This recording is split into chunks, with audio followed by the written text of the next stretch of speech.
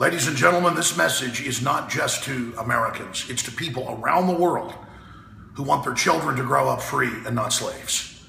The entire history of civilization for 6,000 years has been between the people who produce the culture and tiny elites that organize themselves into criminal gangs to suppress the people. We fought a revolution and won it from an empire that never been defeated in 1776. Over 150 years later, the very same British roundtable groups founded the Council on Foreign Relations in New York City with the stated goal of bringing the United States into a new British Empire. Now, to be clear, the British don't run this today, but that model, that system, the corporations and combines, the robber barons that grew out of it, are establishing a planetary government. You notice the Pope's calling for world government and carbon taxes right now. You notice that's being suddenly admitted to all over the news after decades of denial. We've now hit the point of it emerging. The Trans Pacific Partnership passed yesterday. Now, there's still a chance to beat it, but the fact that Congress would give the president dictatorial power to agree to whatever these foreign secretive bodies have set up is truly unprecedented. And here's the bad news Trade Promotion Authority, once it's been handed to a president before briefly, the Senate and the House have never voted it down.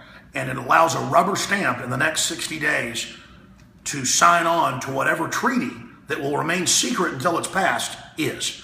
Notice that despite the fact TPP was passed yesterday, we still can't see it. But all the Republican and Democratic senators that are for it, the traitors, true traitors, kept saying you can read it after we pass it. But they mean after we've signed on to the treaty. And the word is most of it won't even be released then. The three sections we've seen are draconian. Anthony Gucciardi, David Knight, and the rest of our crew have been breaking that down today here on the radio. This is one of the most devastating blows against our freedom ever, and it shows that we have a Congress that is bought and paid for. I salute the Democrats, who were the largest group against it. They're insane on many fronts, but uh, handing the president total dictatorial power to a secret treaty, a lot of them got was a fraud. And their constituents know what a screw job NAFTA and GATT was entering us into this system to begin with. The Tea Party fought it as well. How about we come together and save this country and not let them divide and conquer us with these distractions about rebel flags? My God, people, we're not being conquered by the Confederacy. We're being conquered by the globalists, and they're admitting the whole thing. Continue the fight. It's uphill at this point. But here's the good news. Even if they're able to ratify this and ram it through, finally, the secret takeover, even if they're able to do that, now they have to implement it over the years. England never even knew they were brought into the EU secretly in the late 80s, early 90s, in two different phases of the Maastricht Treaty. Now they know about it and are moving to pull out. So the beginning of the end of world government is when they try to actually set it up and don't rule from the shadows and start installing their technocrats in power everywhere. Then people go, wait a minute, the conspiracy theorists for 30, 40 years fighting this, they were, they were right. We weren't conspiracy theorists. We went and read the Treaty of Rome, the Maastricht Treaty. We, we interviewed the top experts, the members of parliament. I've traveled to England, traveled to Europe. I mean, Ron Paul's warned. Now we've got Senator Sessions on the floor a few days ago saying this is world government. They're merging the North American Union, the Asian Union, and the EU together. And all of it's done by stealth. It's not trade, it's a takeover.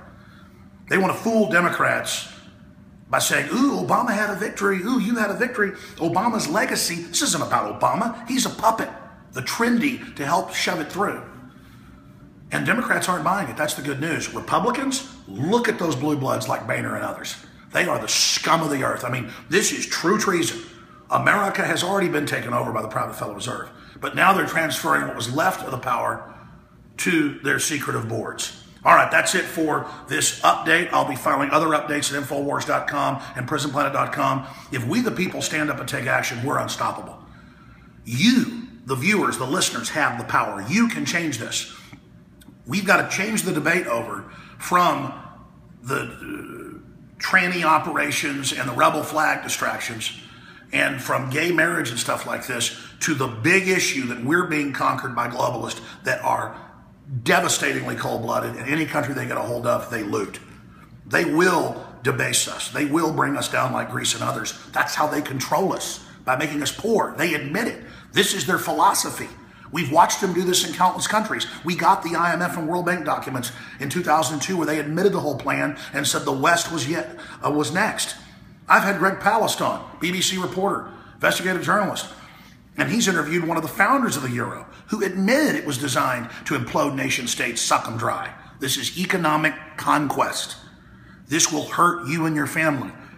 If you thought NAFTA and GATT cut your wages and screwed the country up, that was just the beginning. The people are now waking up. The battle is just starting. And they barely were able to ram this through. So they're not invincible. They want you to think all is lost, you can't defeat them. That's a fraud. What they're doing is so over the top that they either win because they're so bold or they fail because they're so bold. Will their confidence game go on forever? Will the United States of America and the, and the UK, England, Germany, all these great nations, sovereign nations that fought huge wars with each other, now just give in to a bunch of scum bankers who create a bunch of counterfeit derivatives? This is the world being conquered by people worse than Bernie Madoff, worse than Ken Lay. It was Ken Lay with carbon taxes. I mean, this is a group of scum. Are we really ruled by the hypocrite Al Gore? Are we really ruled by frauds like Michael Moore with his six bodyguards with guns, but you can't have them? Are we really going to be under this new royalty and submit to their tyranny? The decision is up to you. But the battle against TPP now goes into the next phase. It's uphill. But within that fight, we will expose it even more.